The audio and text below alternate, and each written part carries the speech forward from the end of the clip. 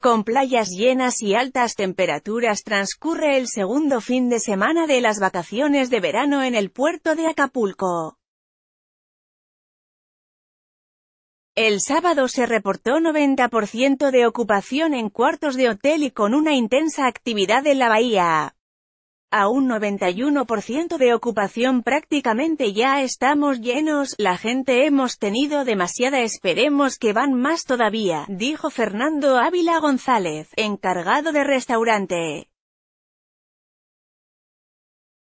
Brindan seguridad a turistas de Acapulco con el CAPTA, pasarla bien, convivir con la familia, compartir con los amigos, de eso es lo que se trata pasarla bien. Las mejores tardes están en Acapulco definitivamente, aseguró Tania Arcos, turista de Morelos.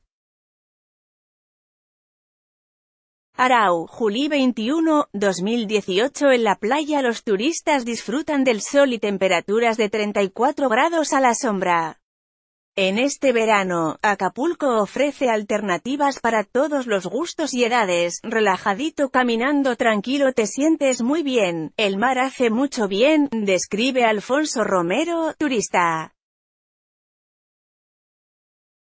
Acapulco reporta playas llenas y altas temperaturas, los lugares turísticos creo que están muy bien, la playa, los lugares para salir, la gente, la buena vibra de todas las personas, opina Fernanda Vizcaíno, turista poblano. Autoridades de los tres niveles de gobierno llevan a cabo operativos las 24 horas del día para dar seguridad por tierra y mar a los vacacionistas. Corporaciones de Acapulco RSGUARDANA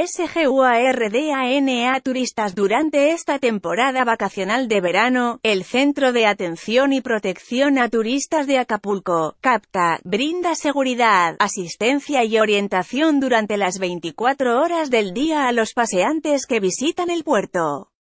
En un mismo centro de mando participan representantes de distintas corporaciones como la Policía Federal, la Estatal, Municipal, Protección Civil, Cruz Roja, Ministerio Público, la Procuraduría Federal del Consumidor, Profeco, y el Ejército Mexicano, quienes trabajan de forma coordinada para brindar seguridad a los vacacionistas, los 365 días del año, atendiendo a todos los turistas que se encuentren en una situación de inconformidad o de riesgo. En fin, cualquier queja, cualquier situación, nosotros le damos seguimiento y buscamos la resolución, dijo Covadonga Gómez Huerta, directora general del CAPTA, con información de Isaac Flores Pinedavi.